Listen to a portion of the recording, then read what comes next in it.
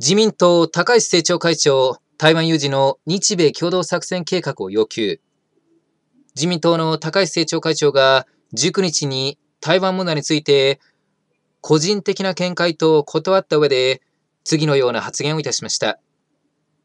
平和的な解決を促すためには外交的な働きかけだけでは不十分だ。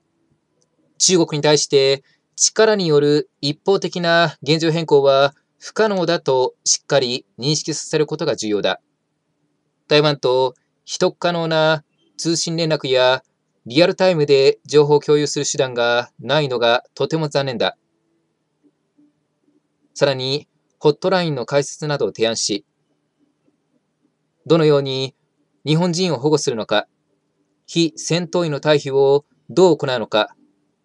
日体の間で早く協議をしておかなければならない内容だと発言されておられまして、まあ、こちら、自由の声でも同じような主張はさせていただいておりますが、台湾有事はいつか起きるだろうと見られており、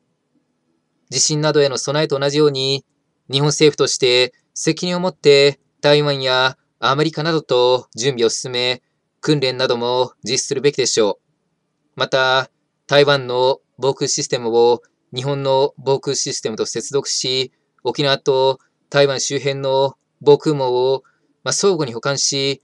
強化する必要もあるものと思われますので、